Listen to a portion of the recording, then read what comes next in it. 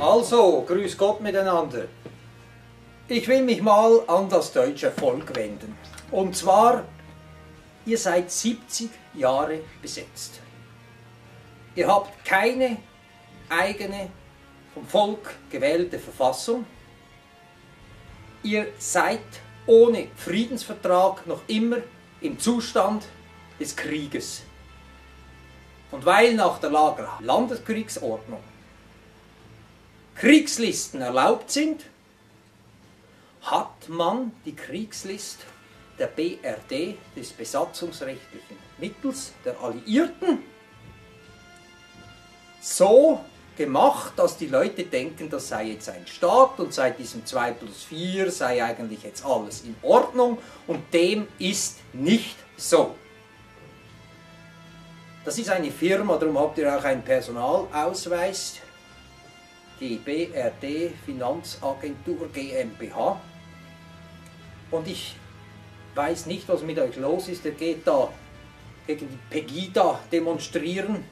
Und im Grunde genommen seid ihr ein Volk aus Deutschen, die als Feinde gehandhabt werden. Und der Obama war ja in Dresden, wenn es mir recht war, 2009, und hat gesagt, Deutschland ist ein besetztes Land und wird es auch noch lange bleiben. Und die Stadt hat dann noch ein Fest gemacht, so mit Amerika, Cowboy Riding, und die Leute haben sich da noch ergötzt in einer absolut idiotischen Art und Weise. Es ist nur noch Brot und Spiele. Und ich weiß nicht, was aus diesem Volk der Denker und Dichter geworden ist.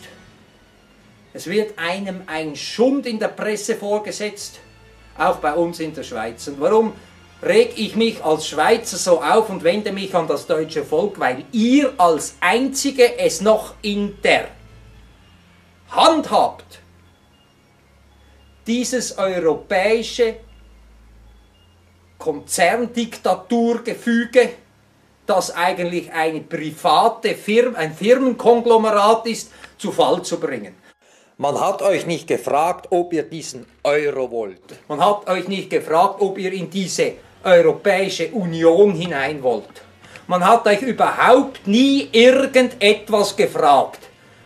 Ihr seid verkohlt worden, verschrödert worden, und nichts habt ihr gemerkelt und werdet jeden Abend durch die Jauchegrube vor der Flimmerkiste gezogen.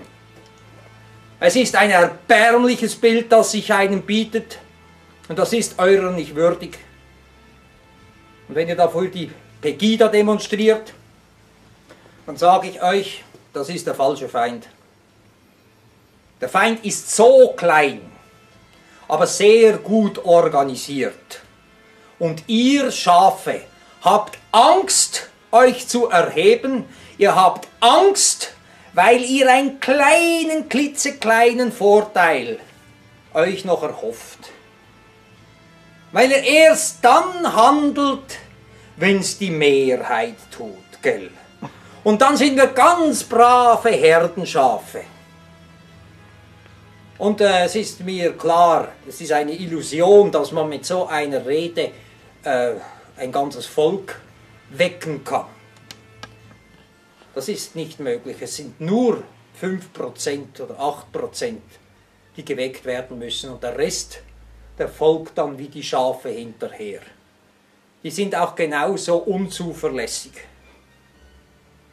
Die sind einmal so und dann sind sie so so wie der Wind weht. Aber diejenigen, die Charakter haben, diejenigen, die Ehrgefühl haben und diejenigen, die eine Verantwortung haben und für die Familie dastehen, für die Völkerfamilie, für die eigene Familie, für das dastehen, wenn sie den Mut haben, wirklich den Mut haben, aufzustehen und ihre Meinung zu bekunden, dann ist ein Wandel möglich. Und ihr habt es als Einzige, als Deutsche, als Einzige in der Hand, die EU zu Fall zu bringen. Warum? Weil das Deutsche Reich nicht untergegangen ist oder Deutschland. Und weil die Schweiz sich ja immer mehr in dieses Konzerndiktat, auch dieser, dieses, dieses Freihandelsabkommen, ein absolutes verbrecherisches Abkommen. Freihandel klingt ja noch so schön, als ob man frei wäre.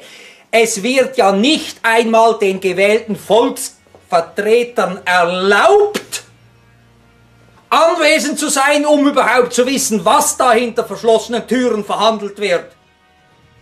Und das lässt ihr euch gefallen.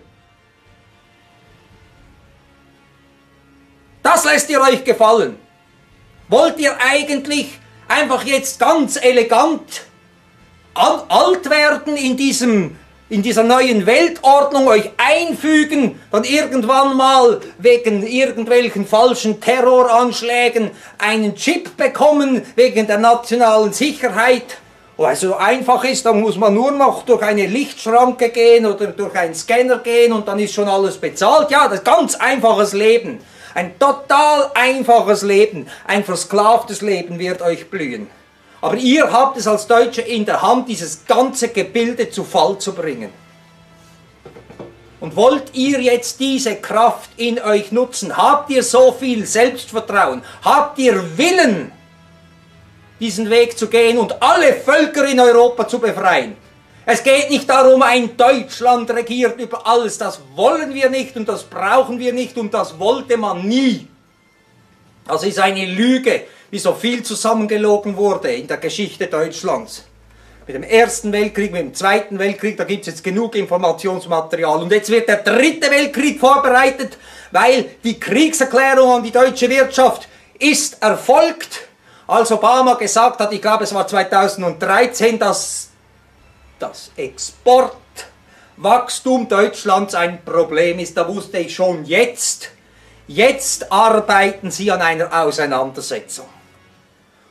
Und ich habe einen Film hochgeladen, wo ein Amerikaner ganz klar sagt, das Bestreben seit 1871 der amerikanischen Außenpolitik war es immer ein Bündnis zwischen Russland und Deutschland zu verhindern. Weil wenn dieses Bündnis zusammenkommt mit der Geistes- und Schaffenskraft der Deutschen und den ganzen Rohstoffen und der Arbeitskraft Russlands zusammen, ein unbesiegbares Imperium entstehen würde. Und zwar ein Imperium, das nicht wie die EU sich ausbreiten will und die Völker in eine Konzerndiktatur führen würde, sondern das wäre dann ein Imperium für die Menschen, wo die Nationen noch Nationen sein dürfen. Und ihr eigenes Geschick selbst in die Hand nehmen dürfen und friedlich miteinander funktionieren können. Es wird auf ganz vielen Sektoren ganz viel unterdrückt. Energiesektor, Gesundheitssektor. Und da arbeiten wir hier auch in der Schweiz daran, Resultate zu bringen und wir haben sie schon und darüber berichten wir später. Aber es geht jetzt darum, dass ihr wach werdet, dass kein Krieg angezettelt wird. Weil der nächste Krieg hat das Ziel, Deutschland wieder platt zu machen. Es ist das erste Mal gewesen im Ersten Weltkrieg, wo man die deutsche Wirtschaftskraft platt machen wollte. Dann im Zweiten Weltkrieg war es die Wirtschaftspolitik des Dritten Reiches vorbei an den Börsen. Die Hochfinanz konnte nicht mitverdienen, weil Hitler hat Güter gegen Rohstoffe direkt mit den Staaten, zum Beispiel in Südamerika, ausgetauscht, da konnten die nicht mehr mitverdienen. Und das hat der Churchill selber gesagt, dass es unverzeihlich war und das musste geahndet werden. Wollt ihr eigentlich alt werden und euch einmal in einem, Ar in einem Arbeitslager, in einem Altersheim vorfinden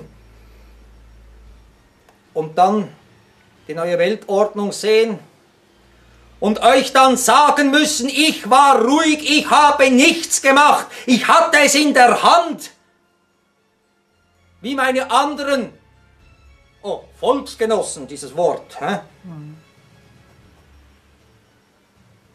Die Ausländer, die übrigens in der BRD leben, sind übrigens Staatenlose, wenn man das richtig anschaut.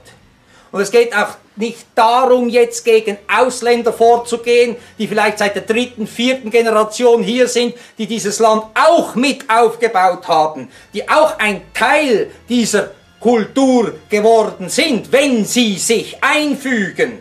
Denn es gibt eine Leitkultur und diese Leitkultur und jeder, der sich an diese Kultur anpasst und diese Kultur schöpferisch mitgestaltet, soll auch willkommen sein. Wir sollen nur das Beste nehmen von allen kulturellen Einflüssen und wir sollen auch nur das Beste geben, damit wir eine neue Wirtschaftsordnung, zum Beispiel nach Silvio Gesell, schöpfen können, ein Geld, das nicht dem Kapital dient, dem Großkapital. Bis auf den heutigen Tag bekämpfen sich Arbeitgeber- und Arbeitnehmerparteien in einem lausigen Parteizirkus, die eigentlich gar nichts zu sagen haben. Und das war die sozialistische Bewegung, die seinerzeit ihre Wurzeln bei Marx hatte, bei Karl Marx, Mordechai Levi hat er in Wirklichkeit geheißen. Und da ging es darum, die Quelle der Ausbeutung vor dem Bewusstsein der Völker zu verschleiern, nämlich das Bankenwesen.